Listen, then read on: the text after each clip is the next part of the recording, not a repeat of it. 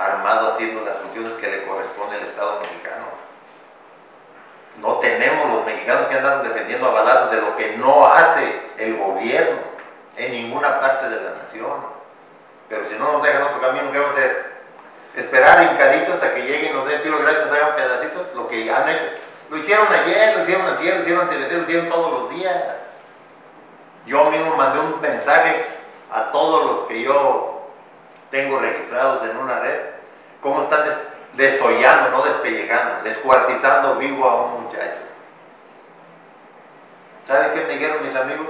Estas porquerías no me las mandes. Le dije, lo que quieres que abra los ojos. El siguiente puede ser tú. Pero ¿qué pasa en las grandes ciudades?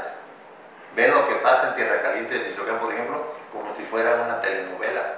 Porque así lo tienen acostumbrados en todas las grandes ciudades. Es más, cuando estábamos en plena guerra, me hablaron, oye, ¿y, mañana cuál pueblo sigue? ¿Cuál vas a ir a tomar?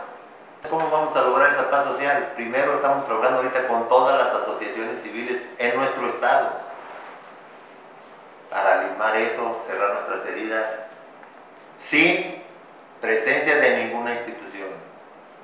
Cuando ya nos sintamos que ya estamos sanos de ese dolor que nos ha dejado la situación actual, entonces sí podemos sentar frente a un responsable de la PGR, a un responsable del ejército, a un responsable de la marina, a un responsable del poder judicial, a un responsable del poder legislativo e intercambiar impresiones, propuestas, ser propositivos.